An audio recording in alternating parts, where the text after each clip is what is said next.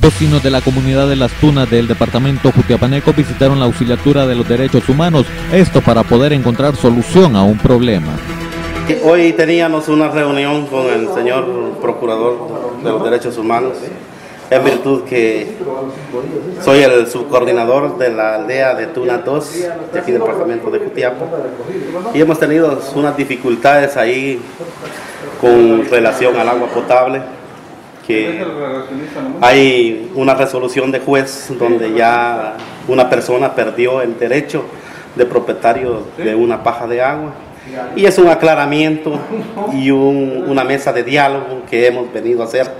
aquí a la Procuraduría de los Derechos Humanos para no estar visitando a las autoridades de justicia por algo que se puede darle una viabilidad en el tema de lo que es el agua, ¿verdad? Entonces, Gracias a Dios ya se, el señor Procurador de los Derechos Humanos ya nos escuchó, se llegó a un diálogo donde la persona afectada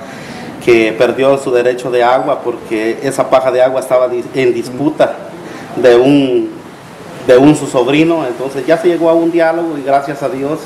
esto se le va a dar una solución porque la verdad es que como ustedes saben que en algunas comunidades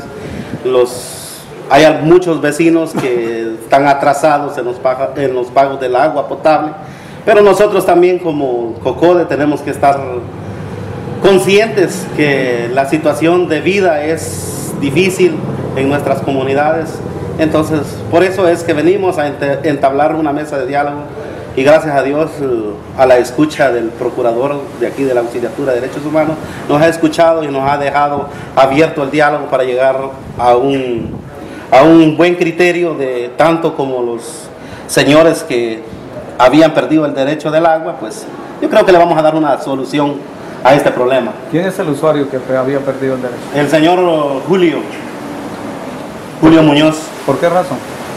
Por las razones que él, el, el nieto de la señora era el que tenía, ha pagado todos los pagos, ha trabajado en la comunidad y él últimamente, él vino a hospedarse, puede decir, en el patrimonio que tenía su señora madre, pero el que ha, ha hecho los pagos efectivos es el señor Benito y consta en libros de acta y tanto como en recibos de pagos de agua también. Y también hay muchas cosas que se van a, a solucionar en este tema, pero gracias a Dios venimos a buscar un diálogo, no venimos a, a buscar problemas queremos que tener una comunidad sociable y vivir en paz. ¿Cuántos usuarios tiene el servicio de agua?